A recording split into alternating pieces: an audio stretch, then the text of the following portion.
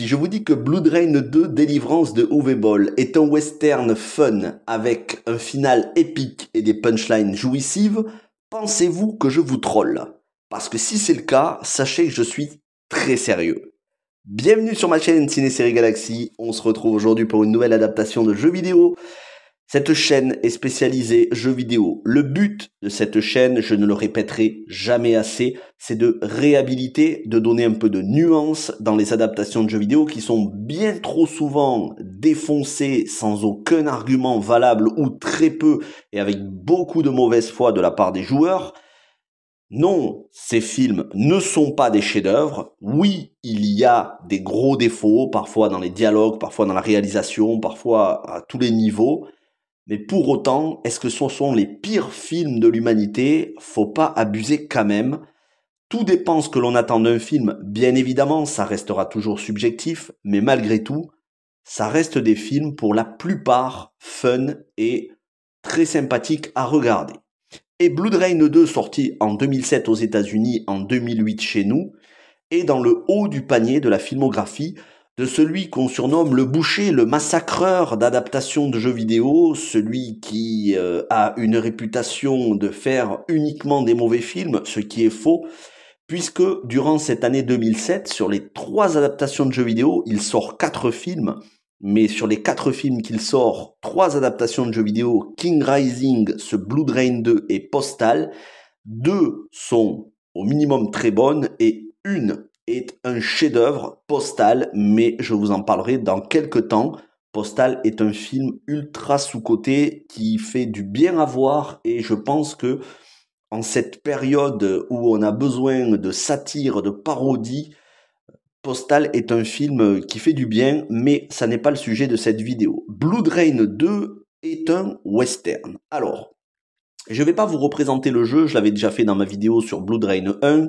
Blood Rain 1, c'est celui qui était le plus proche des jeux quant euh, à l'histoire de Rain, cette mi-humaine, mi-vampire qui travaille pour la société Brimstone et qui euh, cherche à la fois à se venger mais aussi à faire justice euh, en éliminant des vampires. Dans les jeux, ça se passe à la veille de la Seconde Guerre mondiale, voire pendant la Seconde Guerre mondiale, alors que le premier film où Christina Loken jouait le rôle de reine se passait durant le XVIIIe siècle. Donc, on avait le méchant des jeux qui était joué par Ben Kingsley, mais c'était transposé à une autre époque durant les années 1700. Ce Blood Rain 2 n'a rien à voir avec les jeux, si ce n'est qu'on y mentionne la Brimstone Company, mais ici, ça se passe un siècle plus tard, durant le 19e siècle, donc euh, moitié des années 1800, plutôt deuxième moitié des années 1800.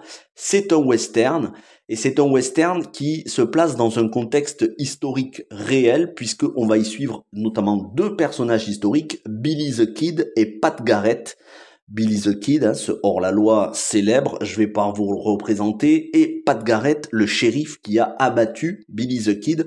Pat Garrett, qui tout comme Billy the Kid, ce sont des personnages réels qui ont existé. D'ailleurs, Pat Garrett est mort au début du 20e, siècle. Et Blood Rain 3, dont on parlera prochainement, lui se déroule au XXe siècle. C'est celui qui est le plus fidèle parce que justement se déroule chez les nazis pendant la Seconde Guerre mondiale, mais on en parlera une autre fois. Personnellement, je trouve que ce Blood Rain 2 est le plus amusant des trois suivi du premier, et pour moi le moins bon, c'est paradoxalement le plus fidèle au jeu, alors fidèle entre guillemets, hein, c'est Blood Rage qui pour moi est moins bon. Mais ce Blood Rain 2, ben, j'ai pas grand chose à lui reprocher, il y a quand même des choses à lui reprocher bien évidemment, mais c'est un film que j'ai vu trois ou quatre fois, euh, je prends toujours autant de plaisir à le voir, c'est exactement ce que j'attends d'une adaptation de jeu vidéo, quelque chose qui se détache du matériau de base et qui soit un divertissement surtout, surtout, sans prétention, qui pète pas plus haut que son cul, désolé de la vulgarité, parce qu'aujourd'hui il y a beaucoup de films, euh, des blockbusters, euh, des films à 200 millions de dollars qui nous sont annoncés comme euh, voilà une révolution, le meilleur film jamais sorti, et qui au final sont des pétards mouillés. Ici c'est pas le cas, on nous a jamais annoncé que ce serait un film révolutionnaire, et pourtant ça fait le taf, parce que les acteurs, on sent qu'ils ont pris du plaisir à jouer dans le film, les acteurs qui sont tous des habitués de l'univers Ouébol. Alors, avant toute chose, mention spéciale, parce que c'est un énorme point fort du film, à la compositrice attitrée de Uwe depuis maintenant 2007, et même un petit peu avant, il me semble, mais au moins 2007 et jusqu'à aujourd'hui, Jessica de Ruige qui fait une excellente composition, ça fait partie des très gros points forts du film. Le synopsis donc, Pat Garrett qui poursuit Billy the Kid, Blood Rain qui rend visite à une, euh, ancienne de ses amies, un couple d'amis dans la ville de Délivrance et un journaliste qui vient justement pour raconter la ville de délivrance.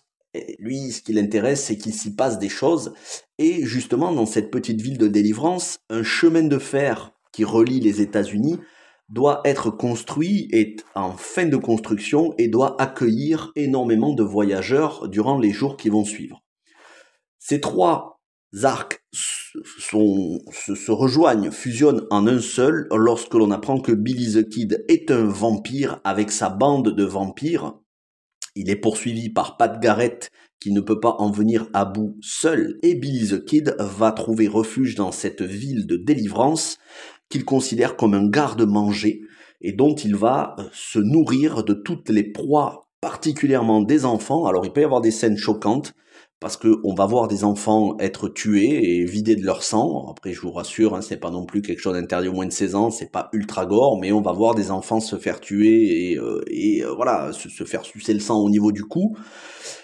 Et on a Blood Rain, donc on a Rain qui, euh, qui se rend compte que son couple d'amis a été massacré justement par des vampires. Blood Rain va croiser la route de Pat Garrett, ils vont former une équipe pour pouvoir se débarrasser de Billy the Kid. Billy the Kid qui attend que le chemin de fer soit fini d'être construit pour pouvoir accueillir un maximum de personnes, les transformer en vampires et ainsi se répandre avec toute son armée tout le long des États-Unis. Voilà pour le synopsis de base. Le film fait référence à énormément de très bons films que j'adore. Le premier, c'est Entretien avec un vampire. Alors attention, je tiens à préciser, quand je dis qu'il fait référence, je ne dis pas qu'il arrive au niveau. Je dis qu'il s'y réfère, voire qu'il pille sans vergogne, qu'il pompe une bonne partie de ces, de ces films-là. Mais encore une fois, vous savez, le cinéma est euh, énormément inspiré euh, des films les uns des autres. Les films s'inspirent les uns des autres. Donc euh, on peut pas trop faire ce reproche de, de de s'inspirer, voire parfois de copier euh, certains passages. Euh, il y a très très peu de films qui arrivent à être 100% original et faire quelque chose qui n'a jamais été vu. Et donc ici, il y a un petit peu du entretien avec un vampire justement pour le journaliste joué par Chris Coppola. Je vais revenir sur le casting. Entretien avec un vampire, puisque dans le film on racontait l'histoire d'un vampire, c'était conté à un écrivain il y a aussi le côté Il était une fois dans l'Ouest avec justement cette gare, euh, cette gare de train et euh, cette bande de malfrats qui attendent à la gare. On a Charles Bronson bien évidemment et on a toute la construction du chemin de fer avec euh, Claudia Cardinal. Donc très inspiré d'Il était une fois dans l'Ouest, jusque dans sa musique, Jessica de Ruige fait énormément appel aux sonorités de Ennio Morricone, et franchement la bande originale, je le répète, est un énorme point fort, elle peut s'écouter en dehors du film euh, agréablement. Bien évidemment, il y a référence à Desperado, que ce soit le 1 ou le 2, euh, et même El Mariachi, donc la trilogie du mariachi de Robert Rodriguez. Ça vraiment, ça y fait référence. Et enfin, à Une nuit en enfer, toujours de Robert Rodriguez sur un scénario de Tarantino. C'est vraiment des inspirations, euh, on le sent, de Uwe Boll. Et il y a même certains plans qui sont euh, quasiment du copier-coller de ces films-là. Il use et il abuse de plans sur les yeux, sur les visages, les visages transpireux, les visages crasseux, avec les dents dégueulasses, avec des cigares, des cigarettes. Voilà, on sent que il est fortement inspiré euh, de Ennio de, Sergio Leone, euh, en plus avec la musique de Jessica de Ruige euh, qui fait allusion, qui, qui, fait référence à Ennio Morricone. Bien évidemment, encore une fois, on n'est pas au niveau de ces films de légende, bien sûr, mais malgré tout, il arrive à assimiler ces influences-là pour donner un western qui est fort sympathique, avec des rebondissements, certes prévisibles, mais des moments épiques, notamment dans sa dernière partie, où on va avoir cette équipe, de toute façon vous le voyez sur les images dans la vidéo, où on va avoir cette équipe, euh, d'un côté Pat Garrett, de l'autre Blood Rain, de l'autre ce prêtre joué par Michael Eklund et euh, encore un autre qui vont faire équipe pour mettre, euh, bah, tout simplement pour, pour faire régner la justice, pour délivrer cette ville, délivrer ses enfants. Rain qui va faire face à Billy the Kid et Billy the Kid qui au final sera tué comme dans l'histoire par Pat Garrett dans l'histoire, hein, parce qu'en réalité, euh, les vampires n'existent pas. Ai-je besoin de le préciser? On est en 2024, il faut tout préciser quand même.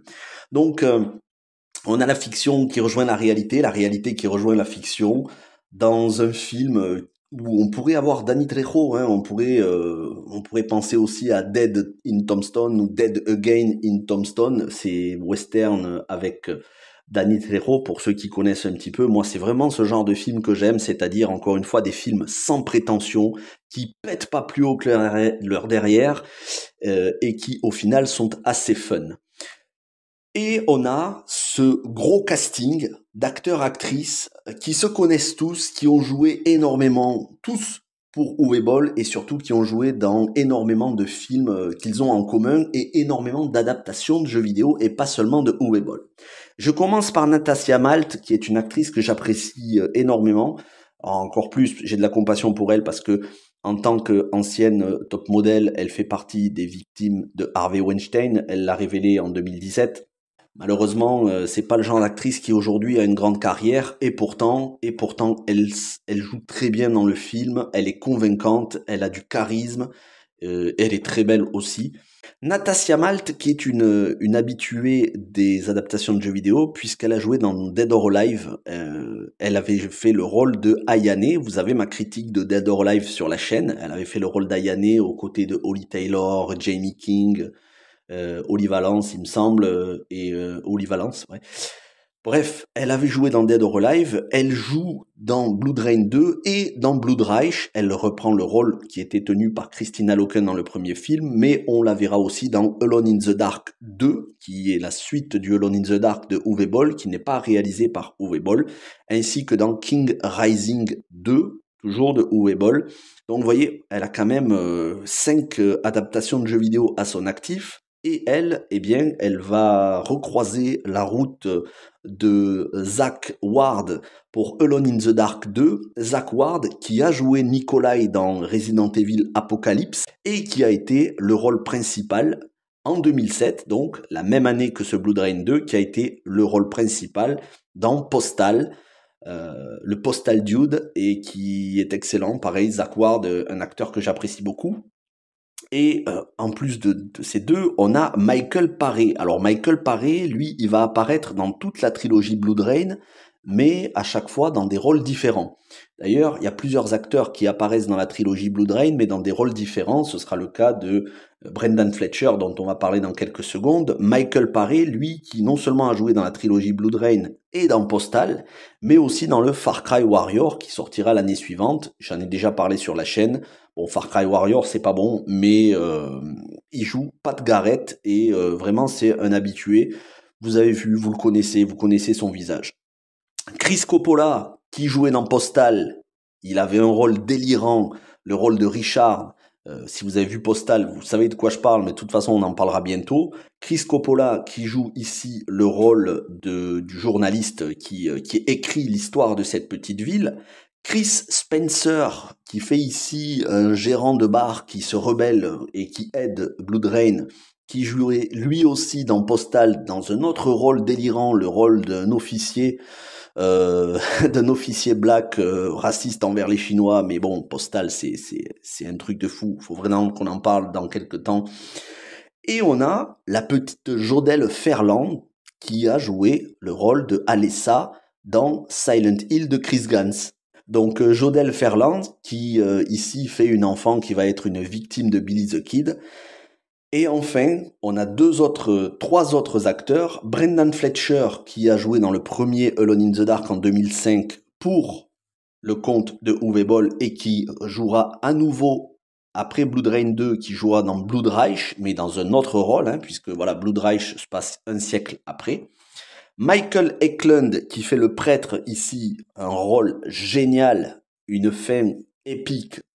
Michael Eklund qui a joué dans King Rising et Postal. Et enfin, Mike Dopped qui est peut-être le plus connu de tous. Mike Dopped qui, en plus d'avoir joué dans quasiment tous les films de Uwe Boll, a joué, ou plutôt a doublé dans les premiers Doom à l'époque, le Doom Guy. Alors, quand je dis a doublé, il a fait les grognements et les cris. Le Doom Guy que vous avez euh, sur PC, sur PlayStation dans les premiers Doom, quand vous entendez le mec hurler, euh, c'est Mike Dopped, l'acteur, qui le joue. Alors ici, il fait un tout petit rôle, le petit rôle d'un malfrat euh, dans, dans le bar, mais on l'a vu dans un de ses rôles les plus récents dans la série dont j'ai parlé sur la chaîne, Day of the Dead, la série Le jour des morts vivants, adaptée du film de Romero, et il faisait le shérif donc Mike Dopped, c'est quelqu'un, voilà, on connaît sa tête, il a joué dans énormément de films et de séries de ce genre-là.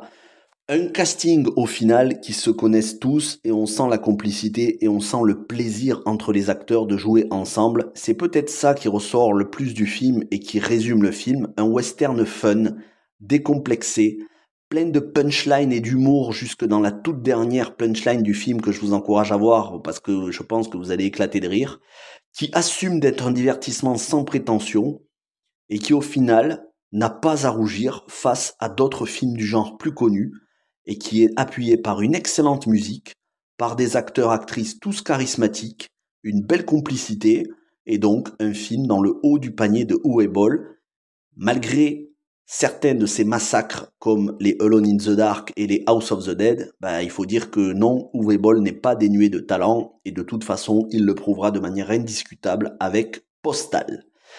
Merci d'avoir regardé cette vidéo. Il y a sûrement des choses que j'ai oublié de vous dire quand j'ai vu le film que j'aurais dû marquer dans ma critique, mais elle est assez longue comme ça. Donc je vous encourage à me donner votre avis sur ce film. Encore une fois, un avis nuancé, s'il vous plaît. Les critiques, ou plutôt les avis du style c'est de la merde, c'est nul, euh, je vous le dis tout de suite, ça dégage, je les supprime, ce genre de commentaires. Je n'accepte que les commentaires nuancés. C'est bon, si vous voulez parler en mal des adaptations de jeux vidéo, vous allez voir ailleurs. Si vous voulez en parler en bien, bien sûr, ça fait plaisir, mais si vous n'avez pas aimé, si vous avez des choses à reprocher à ces films-là, faites-le de manière nuancée et on en discute dans les commentaires. Merci à toutes et à tous. On se retrouve bientôt pour une autre adaptation. J'en ai plein en stock. Portez-vous bien et ciao tout le monde.